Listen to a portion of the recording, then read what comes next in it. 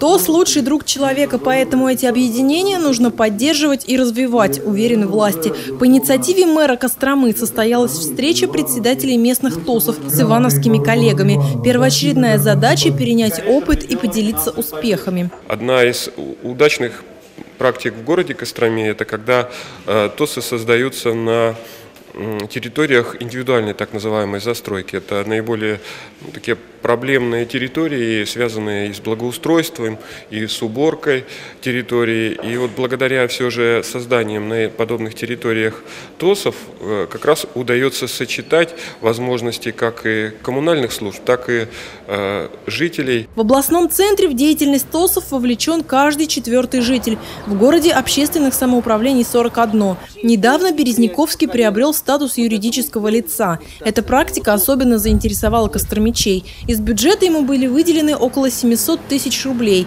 на кронирование деревьев и уборку снега в зимний период. Примеров такого самоуправления ни в нашем городе, ни в Костроме больше нет. Муниципалитет сегодня выделяет, э, безусловно, сумму гораздо больше, чем это было ранее. Вот по этому году в районе 4 миллионов в общей сложности мы выделим.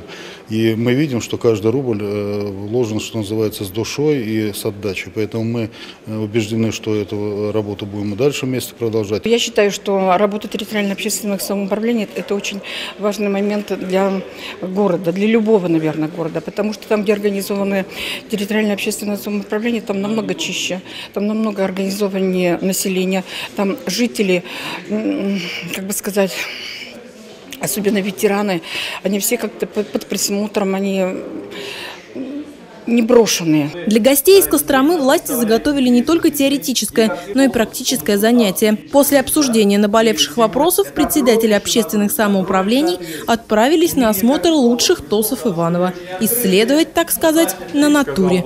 Мария Смирнова, Андрей Семиволков, РТВ Иванова.